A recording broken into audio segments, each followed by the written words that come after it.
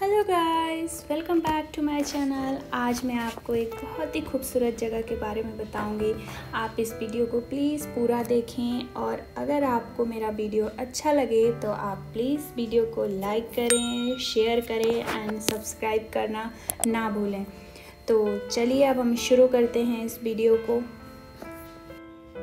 तो आज मैं आपको ले चलती हूँ मुगल गार्डन, जिसका नाम अभी अमृत उद्यान हो गया है। यह राष्ट्रपति भवन के अंदर है और यहाँ पर आपको जाने के लिए आपको गेट नंबर 35 से एंट्री करनी होगी। यह है राष्ट्रपति भवन का गेट नंबर 35 और यहाँ पर आने के लिए आपको सेंट्रल सेक्रेटरीट के गेट नंबर टू से एग्ज़िट करना है। वहाँ से वॉकिंग डिस्टेंस है, आप पैदल भी आ सकते हैं और मेट्रो के जस्ट बाहर आपको ई रिक्शा भी मिल जाएगा, जिसके साथ आप आराम से आ सकते हैं। यहाँ पर आपको कोई भी एंट्री फ़ी नहीं देनी है बट यहाँ पर आने के लिए आपको ऑनलाइन रजिस्ट्रेशन करना होगा इनकी साइट से और यहाँ पर ऑफलाइन रजिस्ट्रेशन भी हो जाता है। रजिस्ट्रेशन के थ्रू आपको स्लॉट बुक करना पड़ेगा और उसी स्लॉट में आपकी एंट्री होगी। यह गार्डन हर साल एक महीने के लिए फेब के महीने में ओपन किया जाता है और हर मंडे को यह गार्डन क्लोज रहता है। यहाँ पर एंट्री टाइमिंग सुबह 10 बजे है और शाम को 5 बजे तक यह खुला रहता है। लेकिन आपको एंट्री करने के लिए आपको शाम को 4 बजे से पहले जाना होगा। उसके बाद एंट्री क्लोज कर दी जाती है। इस गार्डन में आप अंदर अपना मोबाइल फ़ोन ले जा सकते हैं, वाटर बॉटल ले जा सकते हैं, लेकिन आपके पास अगर कैमरा है, बड़ा बैग है, ट्रॉली बैग है तो वो आपको एंट्री गेट पर लॉकर रूम में सबमिट करना होगा और ईटेबल आइटम है तो वो भी अंदर अलाउ नहीं करते, उसे आपको बाहर लॉकर रूम में सब कुछ सबमिट करना होगा। गार्डन लगभग 15 एकड़ में फैला हुआ है, जिसको अलग अलग सेक्शन में बांटा गया है। हर सेक्शन में आपको अलग अलग तरीके के पेड़, पौधे और फूल देखने को मिलेंगे। यहाँ पर एक 200 साल पुराना शीशम का पेड़ भी है। यहाँ पर एक बोनसाई गार्डन है, जहाँ पर आपको अलग अलग तरीके के बोनसाई प्लांट देखने को मिलेंगे। यहाँ पर 120 से ज़्यादा प्रकार के गुलाब के पौधे हैं। यहाँ पर ट्यूलिप गार्डन है और यहाँ पर आपको बीच में एक म्यूज़िकल फाउंटेन भी देखने को मिलेगा, जो बहुत ही खूबसूरत है।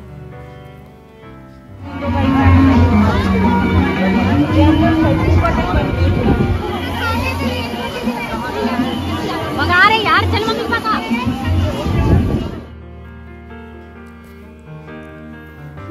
आपको इस वीडियो के थ्रू एक और इन्फॉर्मेशन देना चाहूँगी। जब भी आप आएँ तो कोशिश करें आप सैटरडे संडे को ना ही आए। अगर आपके पास वक्त है, वक्त की कमी नहीं है तो आप किसी और दिन आने की कोशिश करें। यह वीडियो भी संडे को शूट किया गया। है आप देख सकते हैं कितना रश है। आप ठीक से इस जगह को एंजॉय नहीं कर सकते। यकीन मानिए, यह जगह इतनी खूबसूरत है कि आप यहाँ पर तीन चार घंटे भी बहुत आराम से इंजॉय कर सकते हैं। लेकिन उस दिन इतना रश था कि एक मिनट भी वहाँ पर रुकने नहीं दिया जा रहा था। बस आपको चलते जाना था, चलते जाना था। बहुत ही ज़्यादा रश था।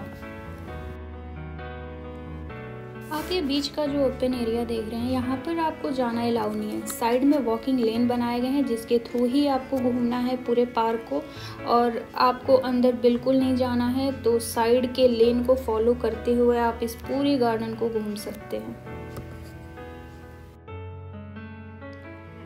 देख सकते हैं, हर फ्लावर के आगे एक क्यू आर कोड है। जिस क्यू आर कोड को आप अपने मोबाइल से स्कैन करके, उस प्लांट के बारे में, उस फ्लावर के बारे में सारी इन्फॉर्मेशन आप ले सकते हैं। और अगर आपको ये नहीं आता है तो आप वहाँ पर हर जगह स्टाफ खड़े मिलेंगे। आप उनसे भी पूछ सकते हैं, वो भी आपको इन्फॉर्मेशन बता देंगे कि कौन सा प्लांट है, इसका यूज़ क्या है।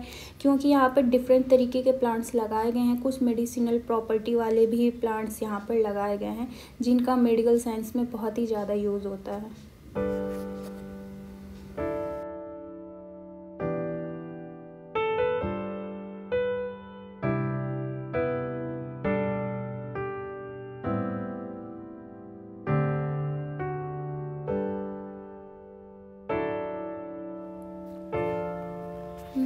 दिन रश की वजह से हर एरिया को कवर नहीं कर पाई, क्योंकि रश इतना ज़्यादा था कि आप दोनों साइड के वीडियो बनाना पॉसिबल नहीं था। जिस साइड आप हैं, उस साइड के ही आप वीडियो बना सकते थे, देख सकते थे। आप दूसरे साइड जाना पॉसिबल नहीं हो पा रहा था। भीड़ बहुत ज़्यादा थी। आप खुद वीडियो में देख सकते हैं कि लोग कैसे चल रहे हैं। बिल्कुल मतलब वो क्या होता है, रेलगाड़ी।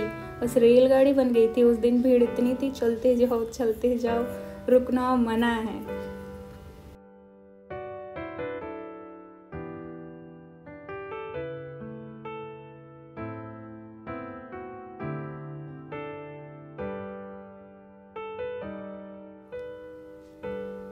यह जो एरिया आप देख रहे हैं, यहाँ पर बहुत ही सुंदर सुंदर गुलाब के पौधे लगाए गए थे। यहाँ पर 120 तरीके के गुलाब के पौधे हैं लगभग। तो आप देख सकते हैं यह पूरा सेक्शन गुलाब के पौधे से भरा था। बहुत अलग अलग तरीके के रंग बिरंगे यहाँ पर गुलाब के पौधे हैं।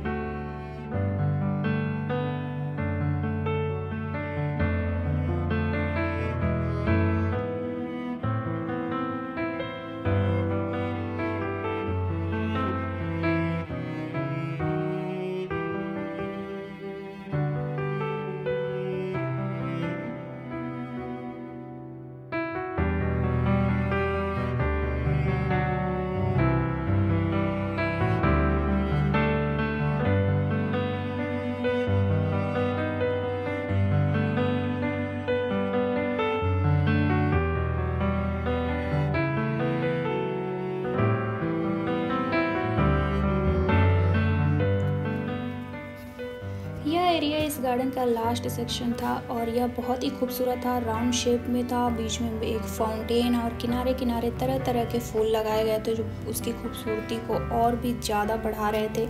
यहाँ से आगे जाने पर आपको एग्ज़िट गेट मिल जाएगा और एग्ज़िट गेट से निकलते ही अगर आपको कुछ खाना पीना है तो वहाँ पर बहुत सारे स्टॉल लगे हुए थे। आप वहाँ पर खाने पीने का कुछ कर सकते हैं इंजॉय कर सकते हैं। मैंने इस वीडियो में सारे इन्फॉर्मेशन देने की कोशिश की है। फिर भी अगर आपको कोई इन्फॉर्मेशन चाहिए तो आप कमेंट सेक्शन में पूछ सकते हैं।